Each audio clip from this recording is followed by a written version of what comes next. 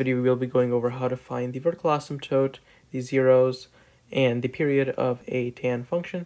So to begin, let's get a tan function. In this scenario, we'll use the tan function 5 tan parentheses 0.1 x.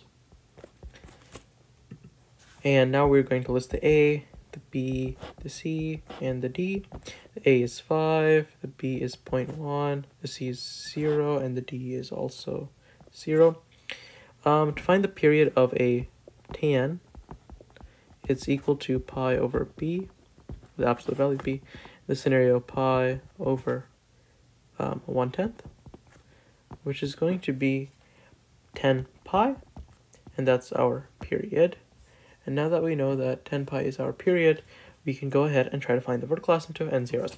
So vertical asymptote, VA, is equal to 1 half of P plus P, and P is your period. So in this scenario, VA is equal to 1 half times 10 pi plus 10 pi times n. And this simplifies down to 5 pi plus 10 pi n.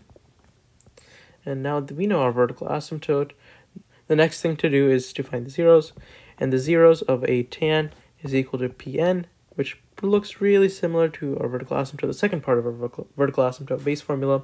So meaning that the zeros of the form, if the equation 5 tan of 0.1x is actually just 10 pi n.